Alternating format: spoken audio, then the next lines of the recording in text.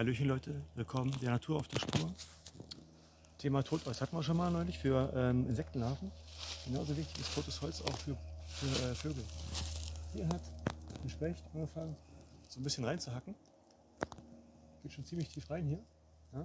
Ja? Äh, aber es reicht noch nicht aus, dass da jemand ein Nest drin bauen kann. Hier allerdings sieht es schon anders aus. Da können wir ein bisschen näher ran. Noch ist nichts drin, aber das könnte wirklich eine sehr schöne Höhle werden für einen kleinen Vogel. Können wir demnächst mal beobachten, ob dann hier was einzieht. Bis später. Ciao.